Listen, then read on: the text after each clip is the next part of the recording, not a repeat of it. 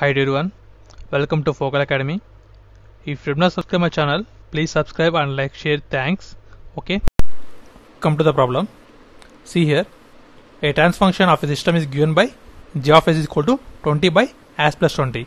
Then what is the rise time of the given system? Okay. So the given system is the first order system.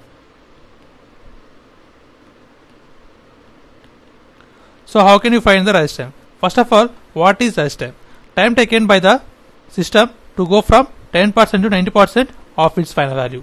That is called a rise time. Nothing but TR is equal to 2.2 times of time constant. Okay.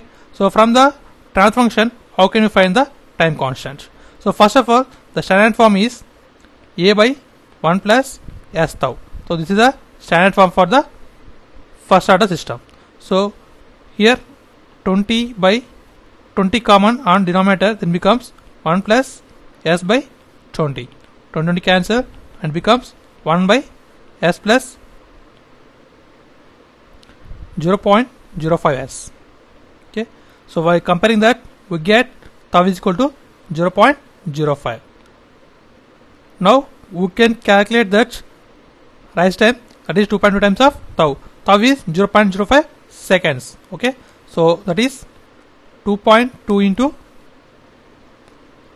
0.05 that equal to 0.11 seconds. Okay?